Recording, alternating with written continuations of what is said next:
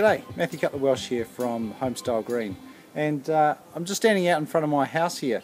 Now, this house is fairly typical of the 1950s, so built about 50 or 60 years ago.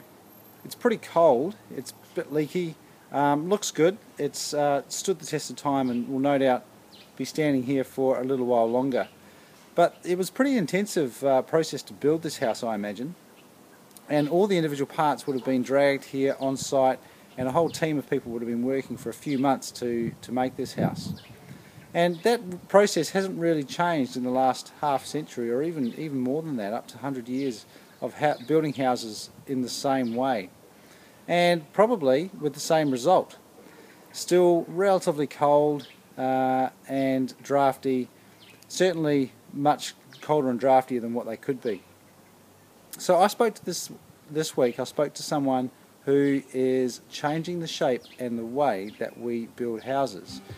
So check out my podcast and uh, find out more.